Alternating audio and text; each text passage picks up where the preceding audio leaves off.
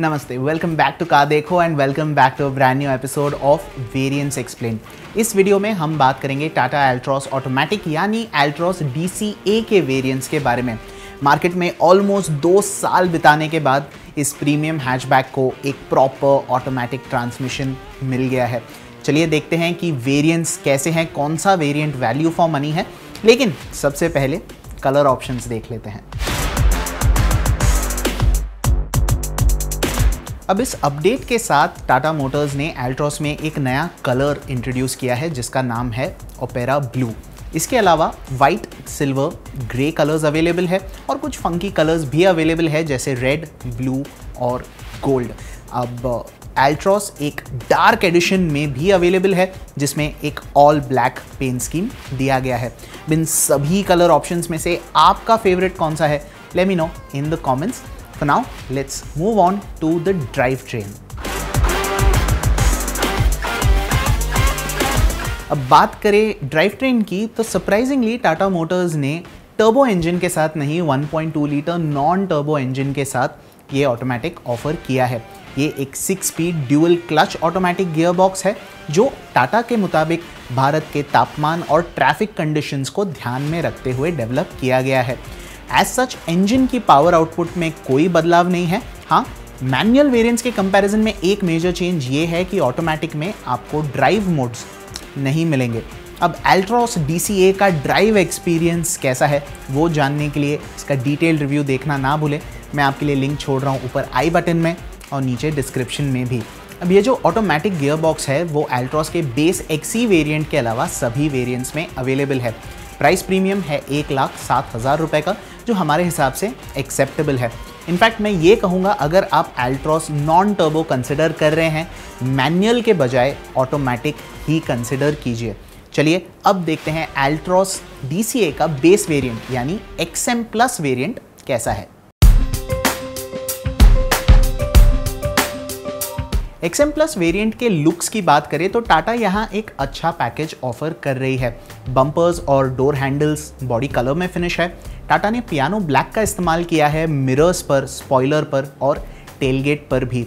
हाँ यहाँ पर एक मेजर डिफरेंस है टायर साइज़ में, जो आपको 16 इंच के मिलते हैं 185 60 आर 16 और एक डिफरेंस है इसके फ्रंट प्रोफ़ाइल में, जहाँ पर टॉप मॉडल्स की तरह आपको प्रोजेक्टर हेडलैम्प्स नहीं मिलते सिंपल हेलोजन हेडलैम्प्स दिए गए हैं और इस वेरिएंट में फॉग लैम्प्स भी मिसिंग है।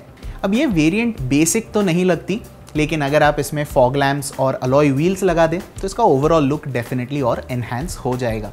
चलिए अब देखते हैं कि एल्ट्रॉस एक्सएम प्लस का इंटीरियर कैसा है। इस वेरिएंट का इंटीरियर कलर स्कीम ठीक टॉप मॉडल्स की तरह ब्लैक और ग्रे है और वही फ्लैट बॉटम स्टीयरिंग व्हील भी मौजूद है। सीट्स पर फैब्रिक अपहोल्स्ट्री प्रोवाइडेड है, लेकिन हमें एक बात ठीक नहीं लगी। फ्रंट हेडरेस्ट जो है वो एडजस्टेबल है, लेकिन रियर हेडरेस्ट फिक्स है। इस प्राइस पॉइंट पर नॉट डन अगर फंक्शनल फीचर्स की बात करें तो टाटा ने एक्सएम प्लस में मोस्टली सभी बेसिक्स को कवर कर दिया है। इसमें remote key central locking all four power windows auto fold O R V Ms tilt adjust steering 12 volt charging socket और रियर पार्सल शेल्फ जैसे फीचर्स दिए गए हैं। एक्सएम प्लस वेरिएंट में मैनुअल एयर कंडीशनिंग मिलती है, लेकिन टाटा ने इसका इंटरफेस जो है वो काफ़ी क्लेवरली डिज़ाइन किया है, इसको ऑटोमेटिक क्लाइमेट कंट्रोल का लुक देने। अगर बात करें इन्फोटेनमेंट की तो इसी वेरिएंट से टाटा वही टॉप मॉडल वाला 7 इंच टच स्क्रीन ऑफ़र कर रही है with Android Auto and Apple CarPlay इस टच स्क्रीन से एक फोर स्पीकर साउंड सिस्टम जुड़ा है और इस सिस्टम को कंट्रोल करने के सभी बटन्स आपको स्टीयरिंग व्हील पर मिल जाते हैं। इसी वेरिएंट से वॉइस कमांड की फंक्शनैलिटी भी ऐड हो जाती है for the calls and infotainment अगर इंस्ट्रूमेंट क्लस्टर की बात करूँ तो यहाँ पर एनालॉग डायल्स दिए गए हैं for the speedometer and the tachometer और बीच में एक 4 इंच का ब्लैक एंड व्हाइट एम दिया गया है, जिसमें गाड़ी की सभी बेसिक इन्फॉर्मेशन आपको मिल जाएगी। अगर सेफ्टी फीचर्स देखें तो Altroz D C XM plus में dual airbags ABS with EBD corner stability control ISOFIX child seat mounts और रिवर्स पार्किंग सेंसर्स जैसे फीचर्स प्रोवाइडेड है। माइनर मिसेस को अलग रख दें तो इस वेरिएंट में बेसिक्स कवर्ड है और कुछ फील गुड फीचर्स भी मिल जाते हैं। लेकिन हम फिर भी यही कहेंगे कि इस वेरिएंट को स्किप कर दीजिए and consider the next variant जिसका नाम है एक्स टी अब हम इस वेरिएंट को रेकमेंड इसलिए कर रहे हैं क्योंकि सिर्फ़ पचास हज़ार रुपये एक्स्ट्रा देकर आपको ढेर सारे काम के फीचर्स मिल जाते हैं।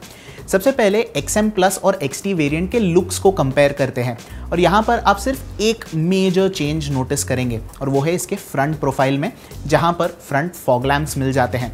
अब इसी फॉग लैम्प क्लस्टर में डे टाइम रनिंग लैम्प्स भी एम्बेडेड है, जो ओवरऑल एल्ट्रॉस को एक प्रीमियम लुक दे देते हैं। इंटीरियर में कुछ फंक्शनल फीचर्स ऐड हो जाते हैं, जैसे auto down function driver power window के लिए day night I R V M glove box और फुटवेल के लिए इल्यूमिनेशन फीचर एडिशंस देखें तो इस वेरिएंट में Tata keyless entry push button start automatic climate control और क्रूज कंट्रोल जैसे फीचर्स ऑफ़र कर रही है। अब इन सारे एडिशनल फीचर्स के लिए पचास हज़ार रुपए का price premium worth it definitely लगता है। इसके अलावा म्यूज़िक सिस्टम में भी एक अपग्रेड मिलता है, जहाँ चार स्पीकर्स के साथ दो ट्वीटर्स जुड़ जाते हैं making it a six speaker setup और हाँ क्योंकि इस वेरिएंट में ऑटोमेटिक क्लाइमेट कंट्रोल मौजूद है, अब वॉइस कमांड से आप एसी भी कंट्रोल कर पाएँगे। ये वेरिएंट काफ़ी ज़्यादा वैल्यू फॉर मनी है और रिकमेंडेड भी। लेकिन हमें ये भी कहना पड़ेगा कि इस प्राइस पॉइंट पर टाटा को height adjustable driver seat front armrest और रियर एडजस्टेबल हेडरेस्ट जैसे फीचर्स पर स्किप नहीं करना चाहिए था। अब इनमें से कुछ फीचर्स इसी वेरिएंट के डार्क एडिशन में अवेलेबल है।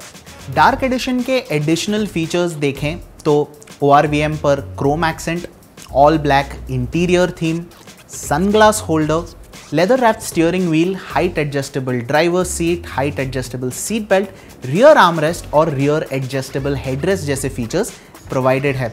अब इन सारे फीचर एडिशंस के लिए फोर्टी सिक्स थाउज़ेंड रुपीज़ का प्रीमियम आपको देना पड़ेगा।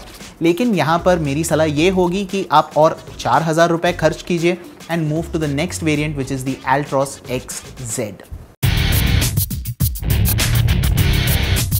इस वेरिएंट में एल्ट्रॉस डी एक प्रॉपर प्रीमियम हैचबैक लगती है।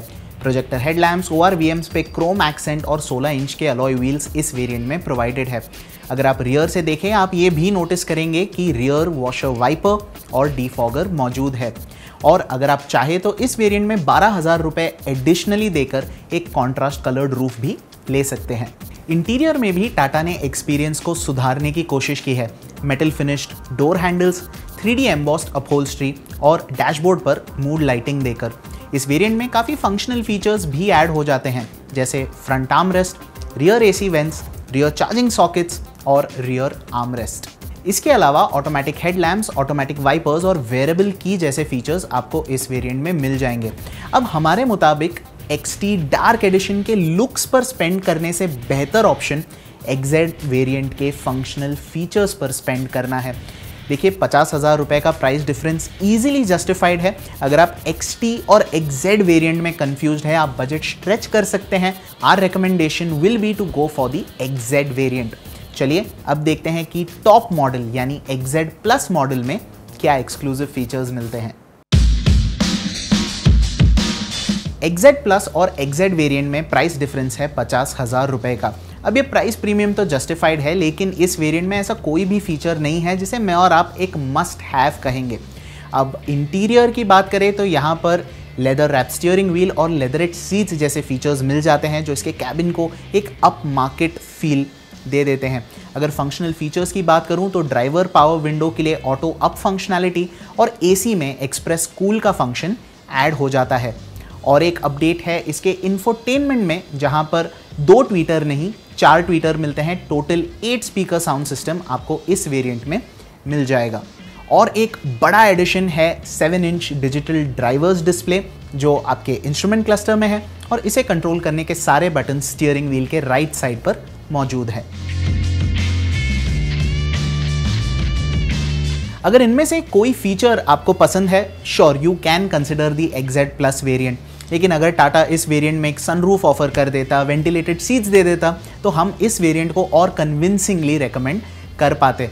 For now between the XZ and the XZ plus our recommendation will be the XZ अब इस वेरिएंट का एक डार्क एडिशन भी अवेलेबल है for thirty thousand rupees extra यहाँ पर कोई भी एक्स्ट्रा फीचर्स नहीं मिलते डिफरेंस सिर्फ़ लुक और फील का है तो अगर आपको वो स्टेल्थी लुक चाहिए you can consider the dark edition as well With that out of the way, let's take a look at the variant wise.